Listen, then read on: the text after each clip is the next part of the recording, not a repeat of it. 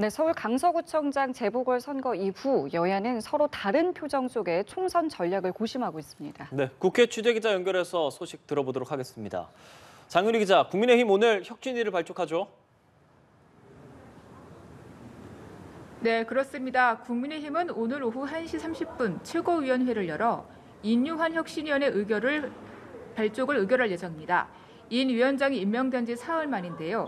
이번 혁신위는 서울 강서구청장 보궐선거 패배 후 당 쇄신을 위해 꾸리게 됐습니다. 인 위원장이 통합과 변화를 강조했던 만큼 혁신위원회는 원외 인사와 여성, 비영남권, 청년 등 다양한 성향의 인물들이 전면에 등장할 것으로 보입니다.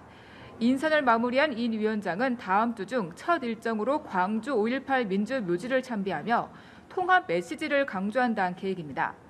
다음 주 총선 기획단 출범도 예고된 상황에서 혁신위가 공천 관련 혁신안에 손을 댈지에도 주목됩니다.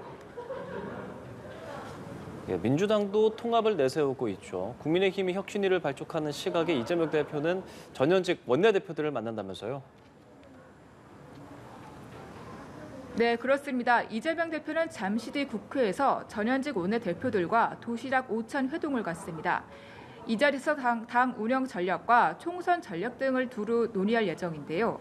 당내 중진이자 다양한 정치적 배경을 지닌 전현직 원내대표들의 조언을 청취하며 당내 통합을 꾀한다는 취재입니다. 이 대표는 오는 일요일 서울 광장에서 열리는 이태원 참사 1년 추모 집회에 참석하며 대외 행보도 재개할 전망입니다. 네, 21대 국정감사도 어느덧 막바지에 이르렀습니다. 오늘 주요 국감은 어떤 것입니까? 네, 오늘 국회에서는 행안위 등 10개 상임위에서 종합 국정감사를 진행합니다. 행정안전부 등을 상대로 한 행안위 국감에서는 국가정보원이 선관위 시스템은 북한 등이 언제든지 공격 가능한 상황이라고 밝힌 점이 쟁점으로 부상했습니다.